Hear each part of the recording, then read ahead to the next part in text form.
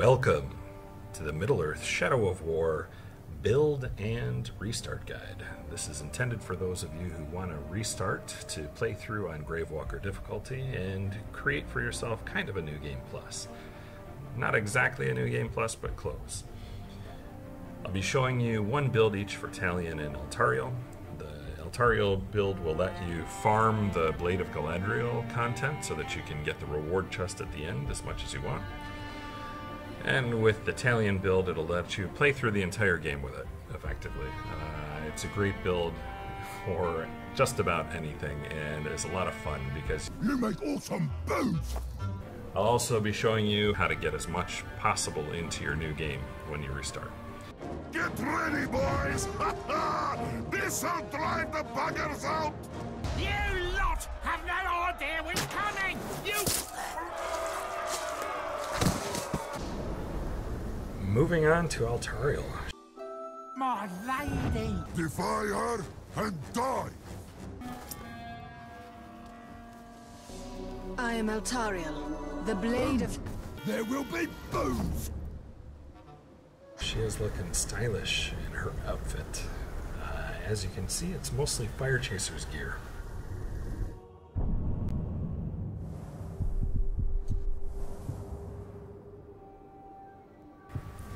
Really like this build because it synergizes really well and makes the game much less difficult. Even on Gravewalker difficulty, you can keep your captains alive fairly easily. Reason being, you are going to be increasing your radiance duration and having the area of effect heal on yourself at all times. You'll also be running the Lightbringer's Bow, which replenishes 2 elf shot whenever you kill a blinded enemy. Um, and you gain 10 might when an enemy is blinded as well. And with this build, you're going to be blinding enemies left and right and causing all kinds of AoE explosions. So the Fire Chaser is set, you'll have a four piece, which causes Elven Light to set enemies on fire nearby, and if you kill a blinded enemy, causes them to explode. You're also doing 100% increased damage to enemies that are on fire. Light trap will also cause a fire explosion, so pretty much you have fire spreading everywhere. Uh, you don't use shield too much, but when you do kill, you gain 4 wrath when you kill any enemy that's on fire, so you're going to be generating a lot of wrath as well. And last but not least, 100% increased light is added to enemies who are on fire. So basically, you cause a lot of explosions. Once the enemies are on fire, then you use light to blind them one way or the other, um, and it causes your um, radiant skill to that causes the AoE heal to also stack light on them more quickly, so that they're getting blinded, so that you can once again cause them to explode and do more damage.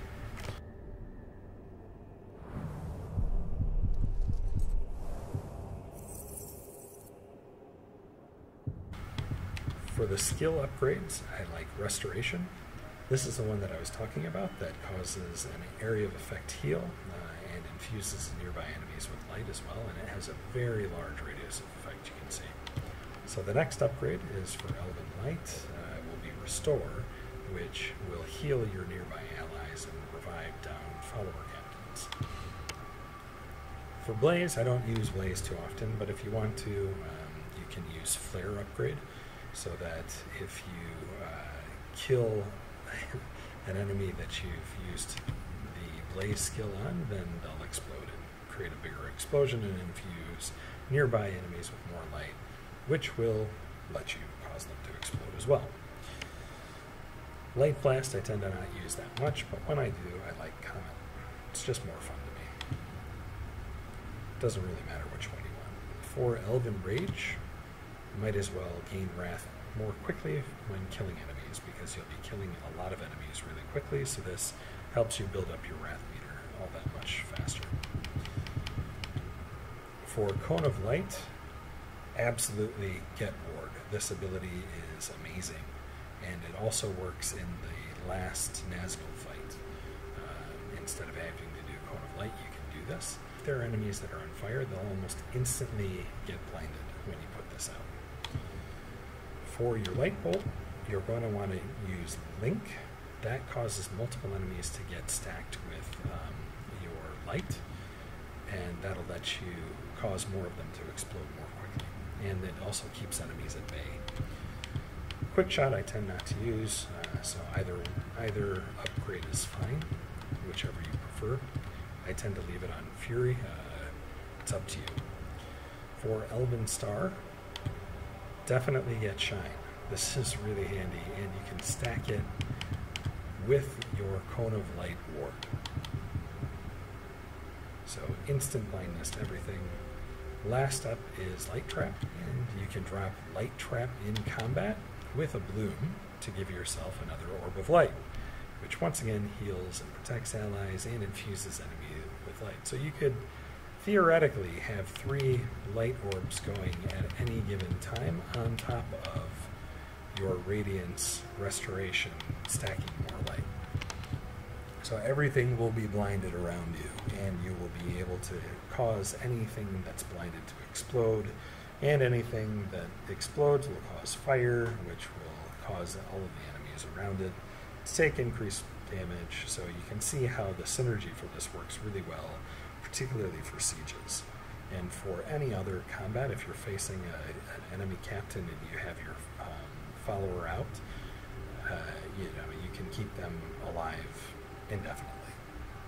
You can always keep their health up; it's never an issue. So that is my build for Eltariel. If you want to run the Eltariel uh, DLC, the Blade of Galadriel, repeatedly, you can get the chest reward at the end now, um, over and over again. So I will run through one time just to show you that fairly quickly, even on Gravewalker difficulty. With this build, I'll just give you the highlights, uh, and then um, after that, if you want to farm, it's up to you. I think you can probably do it on normal difficulty with this build in about two hours per chest, which isn't too bad for the unique followers because some of the followers are really good. There will be booze!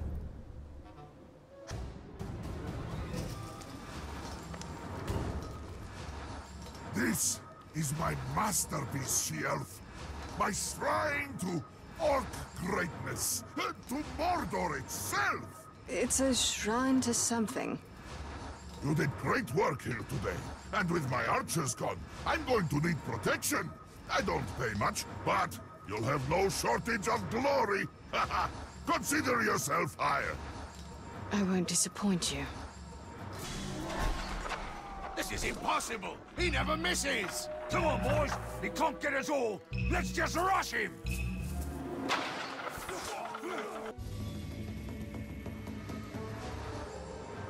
I watched as you slew your way to me. You are no Uruk, and no friend of Sauron. Tell me, is there anything these wretched Uruks are good for? I suppose they die well enough.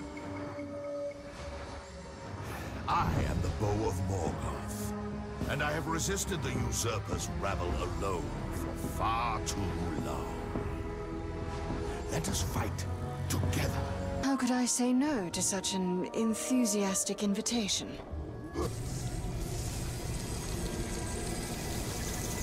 They know what power you carry.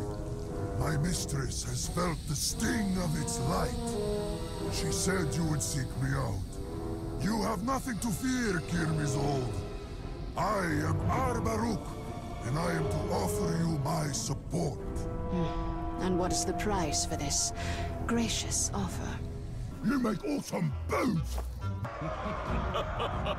Oh, I will enjoy watching them cut down by the archers I trained. This army will break itself upon my walls. Shelob's children will do their part, and I will stand with them. Get to your positions. To battle and to victory!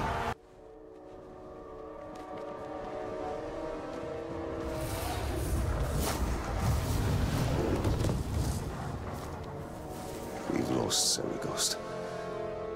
I don't suppose they had anything to do with it. Now, this is what I call helping!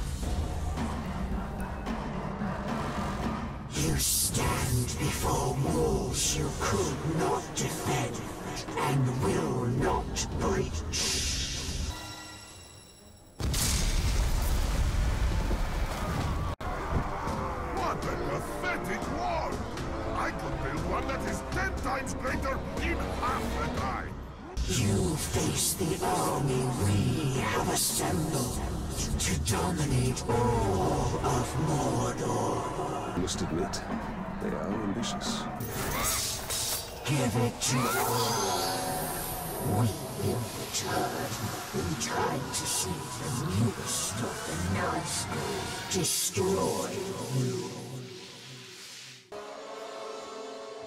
The maggots defending this fort were soft. Taking it from them was too easy. Perhaps the others will be more of a challenge. I, I don't feel so good. Ha ha! Another abomination cleansed from Mordor. I must get back. I must get back. I must get back. Steady, Ranger.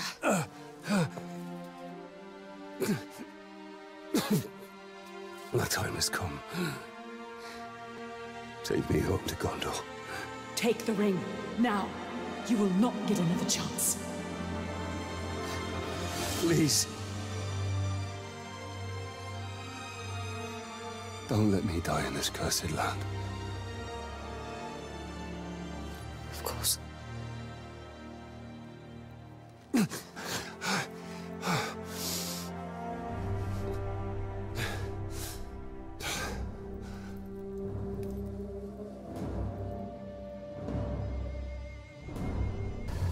This ring is mine. And Talion is no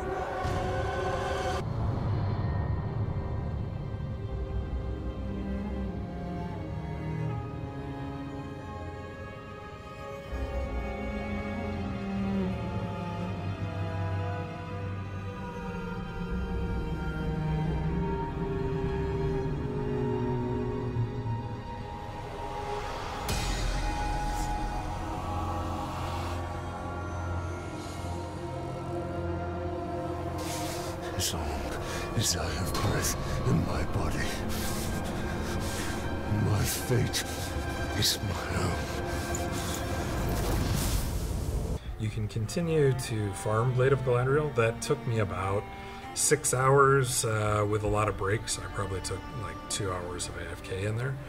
Um, if you did it on normal, you could probably beat it in about two hours or so. So if you want to farm that chest, you can. But from this point, we're going to move on with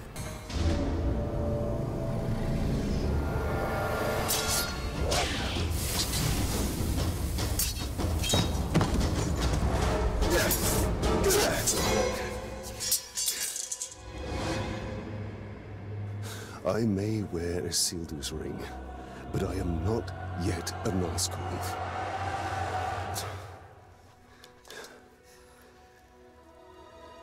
Shelob saw the future that has come to pass. She saw the great eye above Barad-dûr.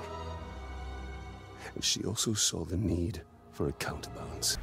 As you can see, Talion has some new gear that is looking pretty badass. Going to talk about some of the new cloaks and possible builds that can go with them.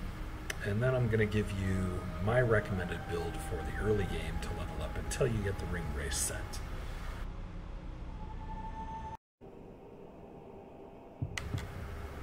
With the new patch, we've got a few new cloaks here, as you can see, uh, from the Ringwraith set. You have Mask of the Empress, which gives you uh, increased damage for each chain Wraith execution, Wraith chain, and Chain of Shadows that you do. This set can be incredibly powerful with mythic weapons. So, for example, you could use the mythic bow, or the arcane bow, and use Chain of Shadows repeatedly over and over because that reduces the focus cost for each subsequent Chain of Shadows. So you can effectively, with uh, two focus generating second abilities on the weapon, chain pretty much as long as you want as long as there are enemies there. Uh, and with each one, you'll be doing more damage, which will stack up to hopefully a really large hit on the boss. Um, you have to kind of plan it out a little bit, and it won't work against bosses who are immune to arrows. But that doesn't stop you from doing execution for the same thing using a dagger for Wraith Chain. So that goes really well with Mythic. The Mask of the Fell Rider uh, can pretty much go with any gear set. You just want to start stacking the new uh, skill that gives you increased damage and resistances and defense for your beasts. You could stack this with the Feral set to reduce the cooldown on summoning your creatures. However, that's not really necessary, as any time you fast travel or zone, you're getting a refreshed cooldown anyway, and your Graug with that new skill tends to be pretty beefy, so he's not going to die anytime soon. Uh, so this makes it, you know, you can pretty much use this cloak with any build out there. The next one is the Mask of the General which causes curse explosions anytime that you consume or drain kill. Uh, this one is less useful, probably the least useful of any of this, the masks that are out there.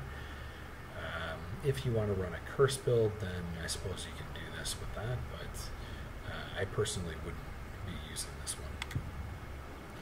The Mask of the Undying is another one that can be incredibly powerful if you pair it with uh, the um, Warmonger set and a four piece Ring Wraith set so that you're causing damage in an AoE with the Fire Hammer, Warmonger Hammer, um, to do fire damage around you, and uh, you're recovering health with a two piece bonus from that.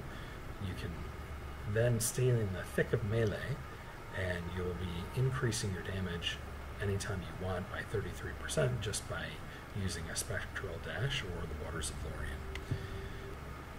The Mask of the High King is the last cloak, and this is actually really powerful because the Gondorian wights are extremely strong compared to other grunts and, and followers that you might have. You get three of them anytime you raise dead, and uh, they're very, very useful to have. So this pairs well with any of those builds that you might have out there that cause you to build up might quickly because then you can just summon your wights over and over again. If you're also pairing this with the Ring Wraith, Dagger, and Sword, you're summoning other followers as well.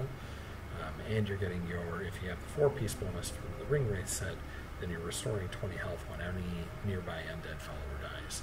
So you'll be getting your health back and summoning followers. And it pairs really well. Um, in particular with the Bright Lord hammer because that lets you freeze enemies. And you can also use the frost finisher to cause terrorize so that you can um, do stealth attacks in combat and chain stealth attacks so that you're resurrecting a bunch of undead followers. So this works really well with that kind of a build. Alright, now I'm going to introduce you to my favorite build. Meet the Bone Shaker! Tinder, did you hear it? It was Bones! Glorious Bones! Who did this? Come out! Let's make things go boom together! I have searched every corner of Mordor for you. You make awesome bones! With this build, you can cause a lot of bones! Glorious bones! And basically, the way it works is you're going to be stacking the machine sword and the machine dagger with the four piece warmonger set so that you're causing booms glorious booms everywhere all over the field all the time and you'll be regenerating your health anytime you kill a follower that's on fire and you'll have everything on fire. So it's an incredibly durable build as long as you've got many enemies around you, so it's great for sieges. I'll walk you through each of the skills that I tend to get, but the general principle is you want to be generating as much fire around you as possible. So the key skills are, or the key upgrades are to upgrade Firestorm, upgrade Cleansing Blaze, so your Elven Light will do an AoE fire, and then the last one that'll give you fire around you is to upgrade your revenants with fire weapons when you raise them. Now, for the glaive, because you're going to be using the machine set for your sword, your glaive will cause explosions whenever it hits anything. So it's best to use the Deadly Striker ability, and that will let you cause explosions repeatedly against everything around you, which is a hell of a lot of fun, and you'll see me do this in the Gravewalker difficulty walkthrough. Um, for the other skills, it's still pretty much the same as I usually run, so uh, I want to make sure I keep my might, so I use Grim Resolve as the upgrade, Fatal Counter, so I can kill enemies instantly, Elven Precision, so that I have an increased critical strike chance even if I don't have a high hit streak. Ground Drain, so that I can Shadow Strike stun enemies or Shadow Strike pull using the stun and instantly drain them, and then get Elf Shot back um, whenever I need it using Quiver of Souls. Uh, I'll also get Ceaseless Might so that I don't deplete all of my might whenever I do Execute or Elven Rage. I'll get two ability uses if I have a fully charged Wrath Bar. Um, because I'm running Gravewalker difficulty, this Adamant gives me an, at least one um, last chance attempt, assuming the enemy doesn't have no chance. I tend to like Silent Runner just because I don't want to consume focus unintentionally, so I use Silent Runner. Uh, Reckless Hate is kind of good because it causes more enemies to flee. It's fine if you want to use Unyielding I don't use Brutalize all that much, honestly, so whichever one of these you like is fine. Uh, I tend to use Contagion. Again, whichever one of these you want is fine. It's not a big deal because we're not poisoning grog barrels too often. Uh, I also like the Shadow Blade upgrade for Wraith Chain so that I can um, chain one additional attack. You can use Monster Hunter if want, it's not a big deal. This one, neither of these are all that consequential to the build. For Deadly Spectre, I also tend to do uh, Wraith Drain so that I'll at least get some elf shot back. And then I slot Worse Than Death unless I really want to do death threats. Um, so I'll do this so that I can use, with the expansion, up to two shamings without causing negative traits to appear, which will lower the level of the enemy captain. And as they level back up, they have a chance at gaining new skills, so you want to drop their level as much as possible for those two shames. For the next skill is Bursting Arrow, so that'll also cause a fire explosion. And you can instantly use Bursting Arrow right at your feet, and you'll get a little bit of health back with this build. I tend to also um, slot the Savage Ice upgrade for this. Brutal Cold is nice for frost-based builds because it causes enemies to flee in terror, and then you can freeze them, and then you get to stealth attack even in the middle of combat. Uh, but I tend to like Savage Ice so that I can freeze pin anything that I want um, and not have to worry about if it is immune or an Olog or not. Um, this one I just find I use quite frequently, so I leave this one slotted even if I'm not facing an Olog because you never know what you're going to run into, and I don't like ch changing out skills mid-combat. So for this build, I tend to like using Talon Strike for the upgrade to Bird of Prey, and the reason for that is because with Eagle's Eyrie, what I can do is launch myself into the air, then I Talon Strike back into the ground, which will stun everything around me, which gives me enough time to charge up the glaive, and the glaive will cause explosions around everything around me. Um, so this is really handy for those big fights where there's lots of enemies on screen at the same time. Uh, it gives you really good control over combat, so this is a change from my original Gravewalker difficulty walkthrough. The Eagle Sight is also good if I want to just launch a bunch of um, hammer strikes from the air over a period of time, but it's it's up to you. Um, just because I'm using the machine uh, sword, I'll probably slot Talon Strike more often than not. For the upgrade to Mighty Shot, Firestorm, of course, because that causes a fire explosion, and you'll heal yourself. For Shadow Strike, I always have Shadow Strike pull slotted, one of the best skills in the game.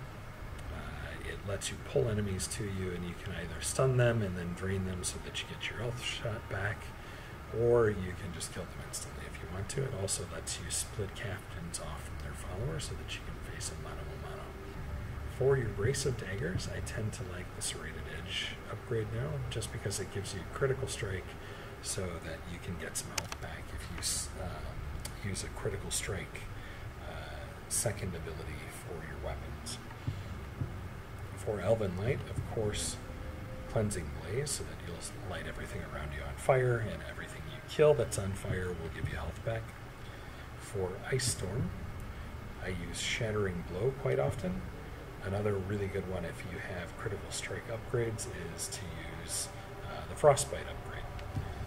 Shower of Ice is less useful for this build because it tends to put out the fires and you want fire spreading as much as possible, so I tend to avoid that one. So Shattering Blow it is, it sets everything um, to flee in terror, in which case if you do freeze something at that point, then you can get a chain of stealth attacks. For Consume, again, I want it to be able to use against Ologs in case they're the only thing that are nearby, and I don't want to waste the Wrath or the uh, Might accidentally. So I usually slot Olog Lord for the upgrade. Lord of Wrath is also pretty decent, but I just I rely on this one more often. Um, if you're having problems keeping your elf shot up, then Chain of Souls is good. That's probably the only time I'd use it, so that you can chain drain um, with Consume and get your elf shot back. For the treasure hunter, might as well just use Mindbreaker so that you increase domination speed. Raise Dead as well, you might as well do Undying Loyalty so you can resurrect captains. Neither of those are all that important for the build. Um, same with Caragor Rider. You know, I tend to use Pounce just so that my beasts, if I'm riding one, can get their health back. Graug Rider, I tend to upgrade uh, so that he gets more health back from executions for call mount, I usually have Dragon Song if I'm in an outside outdoor area. If I'm fighting um, the Overlord, then I'll change to summon Graug. For Shadow Mount, uh, Packmaster is actually really handy, and I used to like the Caragor Breaker, uh, but it only takes one shot or two shots to break a Caragor, so you might as well just do that, and then um, this will allow you to dominate all of the other Caragors in the area without having to go to them too. So it actually ends up using less elf shot to do it this way. For Dragon Rider, always scales of iron so that they take a lot less damage from attacks. Your Drake will stay out longer. With the upgraded beasts, that's a very effective skill. Uh, again, Quiver of Souls, always slotted for green. Um, for the Glaive, as I mentioned, Deadly Striker, Ring Wraith, you want to get Flaming Weapons back, Eagle's Eyrie for um, your Shadow Strider ability. For the Call Follower's ability, you'll actually want to swap it over to Iron Guard. With two pieces of the machine set, uh, you'll be able to summon sappers instead of summoning um, your follower or the regular orcs. So with Iron Guard, you'll be getting a lot more sappers and causing that many more fire explosions. So be sure to use Iron Guard for the upgrade for Call Followers. For Dominate Captain, doesn't really matter which one you choose. Um, I tend not to use this skill anyway, so it's up to you, but I leave it on Enrage Followers just in case. And that is the skills. I'll show you the equipment next. It is two pieces of the machine set and four pieces of the Warmonger set. Specifically, ring, cloak, armor of war, hammer of war, and then the dagger and the sword from the, the uh, machine set. And the reason for that is that the sword for the threshing set is phenomenal. It gives an explosion for each glaive attack, and if you haven't played around with that, it is so much fun. Even on Gravewalker difficulty, you do reasonably good damage and you're exploding things left and right. The dagger is kind of handy. It's not all that great, but it does give you an explosion uh, every 8 seconds if you need one. Hammer of War is good and my favorite hammer uh, for this set because it creates fire explosions and an AoE around you. The Armor of War, the Cloak, and the Ring, why I equip those three is so that you recover health over time while wearing this set. So that's 30 health per second whenever you're on fire, uh, which means you're regenerating your, your health really quickly. Also, as you're lighting things on fire, uh, you will recover 50 health whenever you kill an enemy who's on fire, and while on fire, you'll explode, which will light more things around you on fire. And as you kill them, you're getting your health back. So, this is an incredibly durable set for Gravewalker difficulty, and it's a hell of a lot of fun with this glaive attack. From now on, we're going to move on to Shadow of War and prepare for restarting. See, I provide solutions.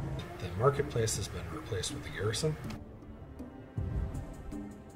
So you still have all of the orcs, access to all of the orcs that you had before, but you can't buy new chests with gold or with Mirian anymore. So you have the orcs that you have and whatever you get from chests left over. You can also see that uh, can get vendetta chests.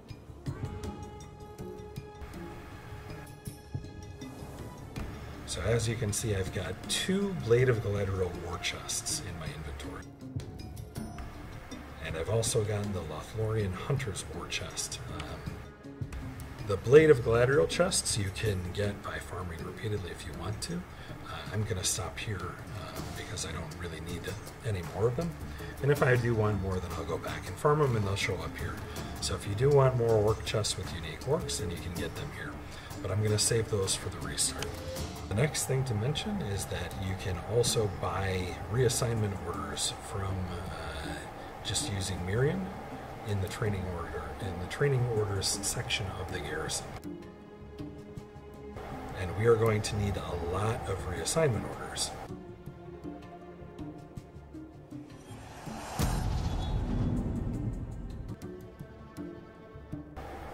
See that now you can conveniently switch between regions.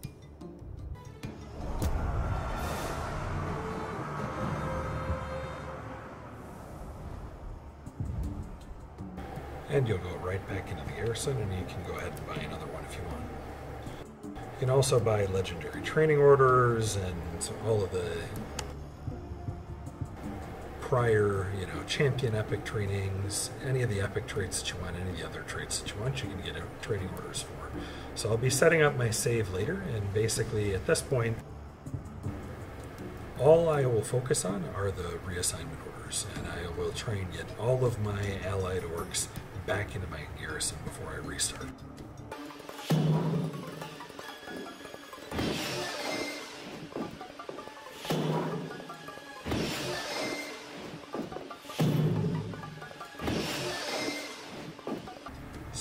Before we move on to getting more Mirian, I'll just show you really quickly that you can get the XP boost and the Spoils of War boost. Those still transfer over as well.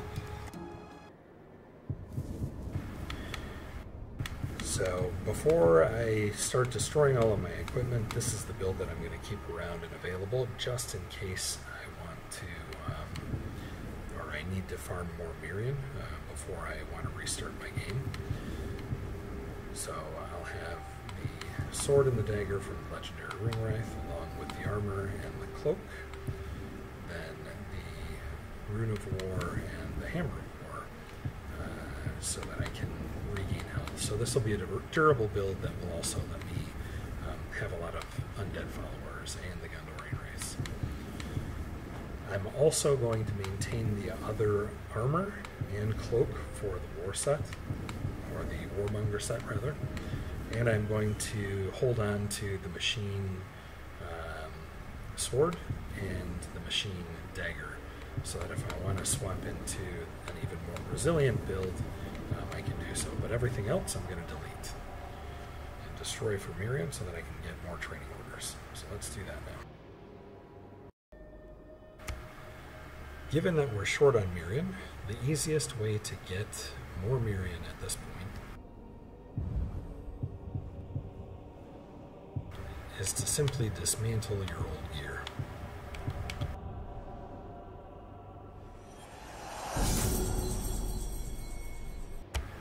To destroy gear that has all of its stats unlocked, or the common gear, you just have to go into modify gear now. And then you can destroy gear from here.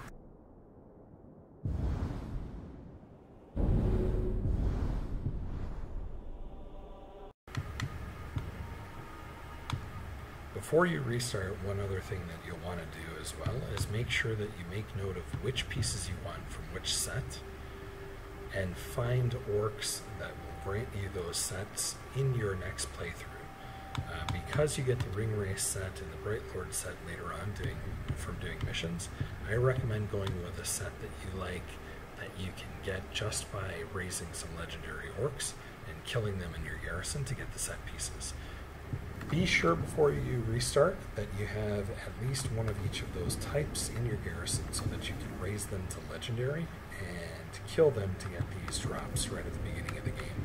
Assuming that you want to. If you don't want to, that's fine. It's totally up to you.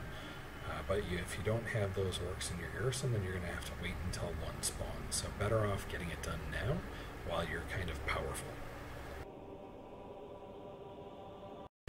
The best resource for figuring out which uh, enemy will drop which set items is on the Steam forums under guides. Um, JK3 has an excellent legendary set gallery that has basically every item set out there possible except for the newest items like the Servant's Blackened Armor and the Cloaks. Um, but everything else is in that guide, and I'm sure he'll be updating it uh, once he takes a break from enjoying the new patch content but he's got everything on there and it tells you which orcs you need to kill to get each item. So if you're ever in doubt, then you can refer to that, and I'll put a link in the description of the video. When making sure that you have the orcs that you need for the set that you want before you restart, you can just go into the army menu, go to training orders, apply your legendary uh, upgrade to the orc that you want to make legendary.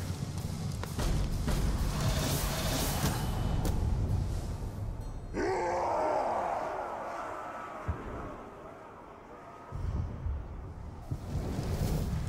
then use a reassignment order to send him back to the garrison. So he'll transfer over with you and then you can destroy him on the other side.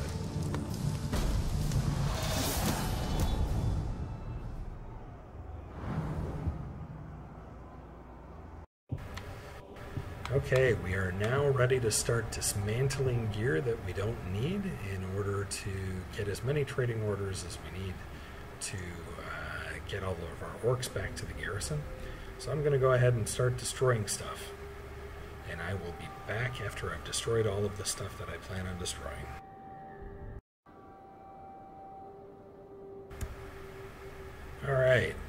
Destroyed everything that I really care to at this point. I have about 60,000 Mirian left.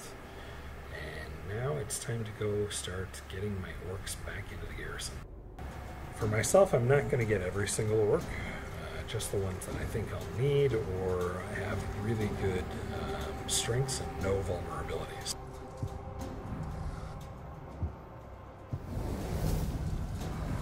Both of these guys are kind of weak, so I'm just going to leave them here at.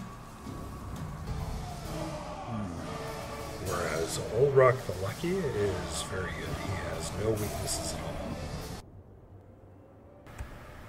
If you find yourself short on Mirian, one thing that you can also do uh, really quickly to farm up some Mirian, it doesn't take too long, especially if you have a level 60 um, bodyguard or orc follower in general. Uh, you can come over here to Nurnen and just send your best follower into the maggot fight pit.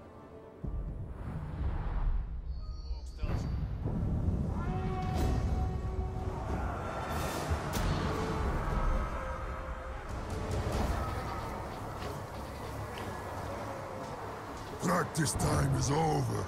Time for a real fight! You better be a decent fight, because I'm getting tired of maggots who die too easily. Comes away! Let's see you go!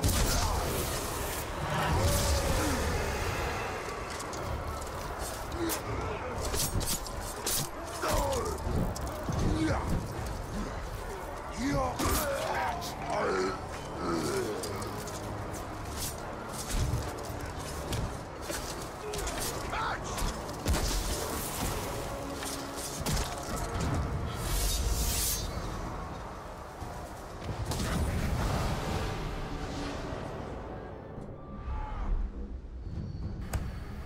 only takes a few seconds to finish off the fight. And you can get epic or common or legendary gear from these fight pits. Uh, and it just takes a few seconds. If you get an epic, you get about 485 gold. The reason why we do the maggot fight pits is because it has the lowest level of captains, but they still give the same level of rewards as any other fight pit. You'll be able to beat these in the shortest amount of time, and you can just farm it over and over again, and every fight you're getting a piece of gear.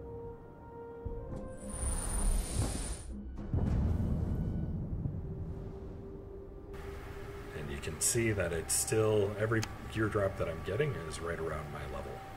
So it's dependent upon Talion's level rather than the enemy or captain level.